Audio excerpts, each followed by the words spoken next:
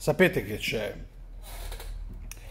Mi sono leggermente rotto i coglioni, anzi, senza leggermente, mi sono proprio rotto i coglioni. Segnalazioni di articoli, eh, fake, articoli che parlano male della sigaretta elettronica, segnalazioni di articoli che parlano bene della, segnala- della sigaretta elettronica. Mi sono rotto i coglioni. Sapete perché mi sono rotto i coglioni? Perché il problema non sono gli articoli fake o che prendono una frase e la rigirano come gli fa comodo a loro per fare la notizia. Il problema siamo noi, siamo noi che leggiamo il titolino e ci fermiamo lì. Mi piacerebbe sapere in quanti hanno re- letto la relazione dell'OMS, OMS, OMS, chiamatela come volete. Mi piacerebbe sapere. Certo, i giornali, i siti hanno preso una parte della relazione per farci lo scoop e lo scoop ormai è il titolo perché la gente si ferma lì a leggere il titolo. Quindi questi hanno detto quello che hanno voluto, rigirando in parte la frittata. L'OMS cosa dice? Che la sigaretta elettronica è meno dannosa, bla bla bla, rispetto alla sigaretta classica, ma va normata perché... Allora, visto che tanto in Italia, se non si parla come si mangia, si fa fatica a, a capirci, sostanzialmente vorrebbero, vorrebbero mettere in mano la sigaretta elettronica alle farmacie, ma non alle farmacie per aiutare le farmacie per il negozio che vende medicinali, nel senso le big farmaceutiche. Quello che rimango stupito è che poi l'ha detto l'OMS. E chi cazzo è l'OMS? Qualcuno è andato a vedere chi è oggi nel 2019 l'OMS? Se non ci siete andati, vi do qualche informazione in merito. Ma non mi dovete credere. Muovete l'editina, no? Sulla tastierina del telefono o del computer, vi fate un po' di ricerca e troverete che molti medici nel mondo ormai si dissociano dall'OMS. Perché si dissociano? Perché l'OMS dovrebbe essere sovvenzionata da, da, dalle nazioni, e in parte avviene, ma è sovvenzionata soprattutto dai privati o dalle fondazioni di privati, fondazioni che poi se ci rimettiamo lì a spulciare, all'interno di queste eh, fondazioni ci sono delle big, ok? Di qualsiasi settore, eh?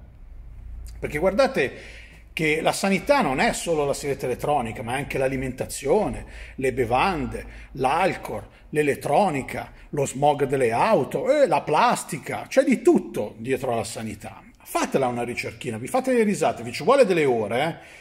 perché poi vi porta una fondazione, c'è da andare a scovare la fondazione da chi, da chi è composta.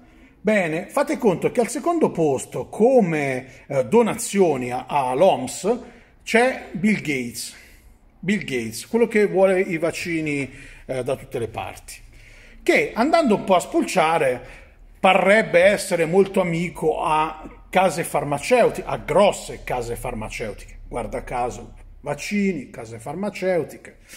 Vabbè, lì la verità non si, saprà, non si saprà mai, magari è veramente un filantropo, e questo non si sa, ci sono delle indiscrezioni, ci sono delle voci di corridoio, però non suona strano che, eh, diciamo, l'ente che dovrebbe gestire la sanità nel mondo è sovvenzionata in gran parte da privati. E questi privati poi chiedono all'OMS di fare ricerche specifiche su quello che vogliono loro. Cioè, esempio, io produco prosciutto crudo, faccio delle donazioni, pesa- donazioni pesanti, eh, non donazioni così, donazioni pesantissime, e gli chiedo di fare degli studi sugli effetti del prosciutto crudo. E io sono un produttore magari di prosciutto crudo Ora era un esempio stupido, ma per far capire. Quindi, per me l'OMS oggi non vale nulla, perché non è più attendibile. Per me non è più attendibile. Quindi è come se mi arrivasse una persona che si sa che non è attendibile, vi dà un'informazione, una news, un consiglio, quello che volete, una critica, voi cosa fate? Gli date retta? Ve la prendete?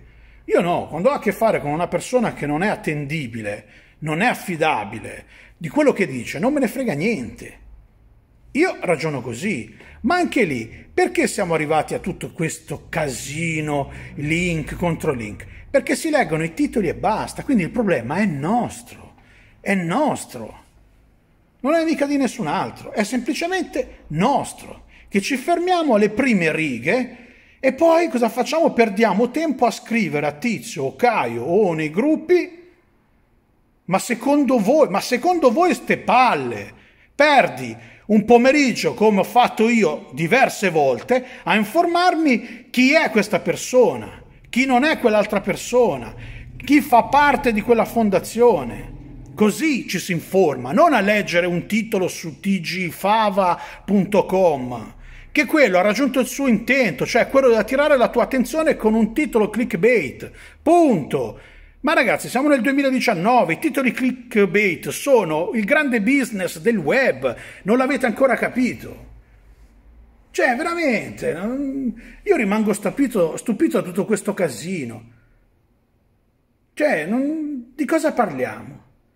Io per l'amor di Dio vi ringrazio di tutte le segnalazioni degli articoli pro e contro, ma io voglio sapere, quando leggo un articolo che parla male della sigaretta elettronica, voglio sapere chi ha condotto gli studi, nome e cognome, non l'università, fa... no, no, voglio sapere chi c'era dentro, chi c'era dentro, da chi è stato sovvenzionato lo studio e soprattutto che liquidi hanno analizzato, marca, marca e nello specifico quale all'interno della linea di quella marca il liquido che è stato analizzato. Perché vi do una piccola news se non lo sapete.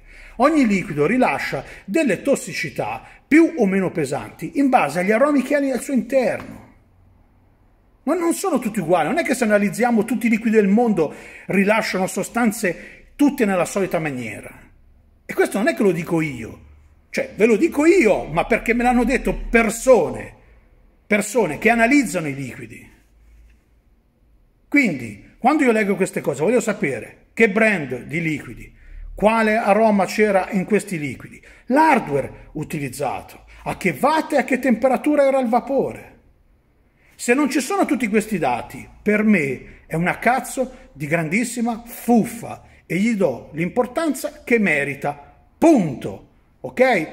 Questo video l'ho fatto per dire a tutti quelli che mi hanno scritto in questi ultimi 5-6 giorni Cosa ne penso di tutta questa storia? Penso questo ed è quello che penso tutte le volte che viene fuori un qualcosa.